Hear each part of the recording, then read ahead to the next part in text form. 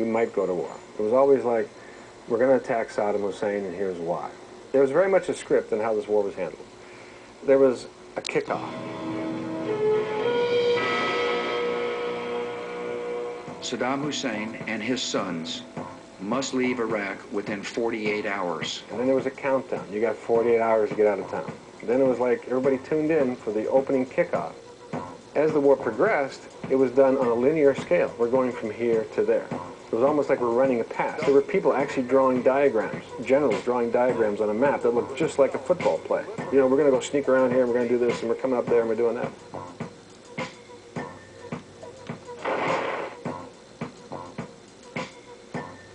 This sports metaphor offered a simplified narrative, mimicking a familiar TV format. When Pelton was delayed getting into Iraq, his focus became the press. So I ended up being the only person embedded with journalists during the war in a fancy hotel in Jordan.